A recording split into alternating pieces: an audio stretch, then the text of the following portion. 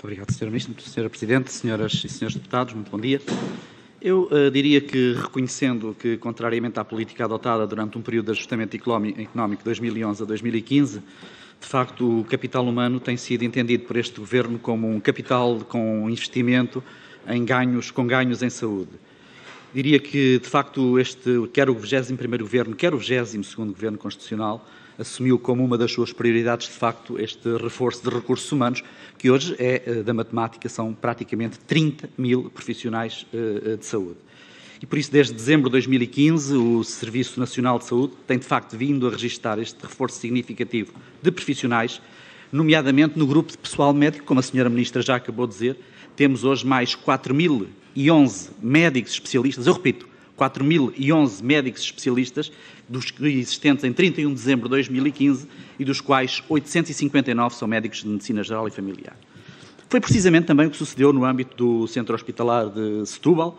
eh, que registra um acréscimo líquido, como a senhora Ministra também já teve a oportunidade de dizer, do número de trabalhadores, incluindo médicos especialistas, correspondentes, neste caso, a mais 16%, mais 37 médicos especialistas,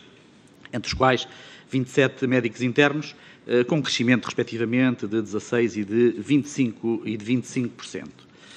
Uh, embora, em, embora uh, não em termos transversais a todas as especialidades que integram a equipa nuclear dos serviços de urgência, mas é bom termos esta percepção, para, sabendo nós, profissionais de saúde, quem são de facto as equipas que estão no serviço de urgência, que são nucleares nos serviços de urgência, eu diria que, uh, nomeadamente nos serviços de urgência do Hospital de Setúbal, também neste âmbito se assistiu a um aumento do número de médicos especialistas, por exemplo, em medicina interna, como sabem, é uma especialidade básica, mais 10 médicos de medicina interna, cirurgia geral, mais 4 médicos de medicina de cirurgia geral e mais 3 médicos de ortopedia. Isto é, um reforço fundamentalmente nas especialidades capitais naquilo que são uh,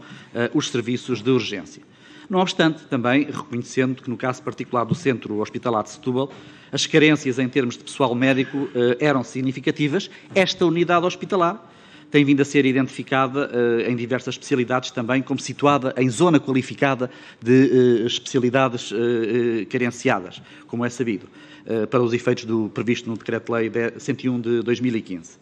Em harmonia com esse reconhecimento e para além das autorizações de contratações casuísticas que foram assim, feitas ao longo uh, deste período, obviamente contratações uh, sem termo, têm também vindo a ser atribuídos uh, postos de trabalho no âmbito daquilo que são os procedimentos simplificados de seleção ao abrigo do Decreto-Lei 24 de 2016. Uh, eh, e também a senhora Ministra uh, já uh, falou, nos 145 postos de trabalho, com a adesão dos 81, uma adesão perto de, uma taxa de retenção perto de 60%.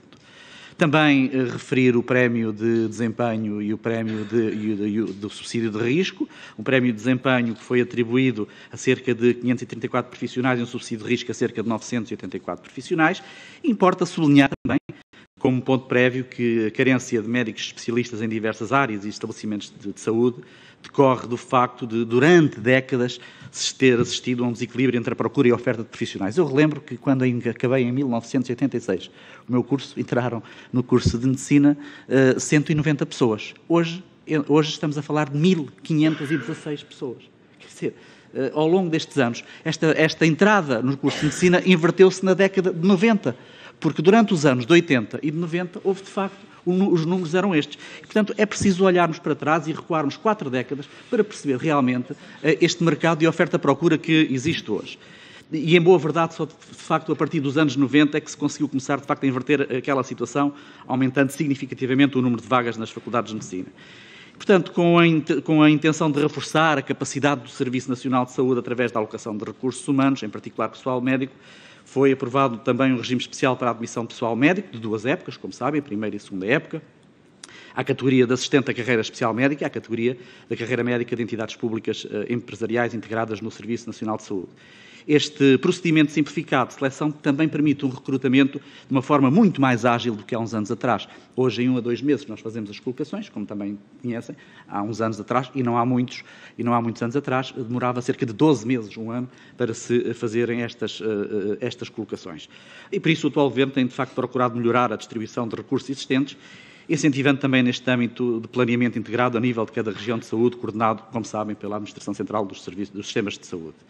Apesar de todos os esforços também levados a cabo no sentido de garantir a suficiência destes recursos humanos, existem situações em que os mesmos se veem na, na contingência de ter que recorrer à contratação de pessoal noutros termos, nomeadamente em termos de prestação de serviços e também em termos de uh, horas uh, suplementares, que é, obviamente, os quadros legais e os recursos que temos. Dizer também que, relativamente a esta matéria, um, o, o, atual Governo procurou reduzir também este regime de prestação de serviços, uh, constante de uma proposta que tínhamos para a Lei do Orçamento de Estado, 2022, que majorava, de facto, o trabalho suplementar desenvolvido pelos médicos, como forma de assegurar o funcionamento, mas pronto, o Parlamento entendeu uh, chumbar o Orçamento de Estado, uh, uh, na generalidade, o que de facto atrasou este processo na redução do volume daquilo que são as prestações de serviço, o que não significa, o que não significa que o Governo não continue a procurar, ainda, ainda assim, ponderar outras soluções que concorram de facto para o mesmo objetivo. Muito obrigado.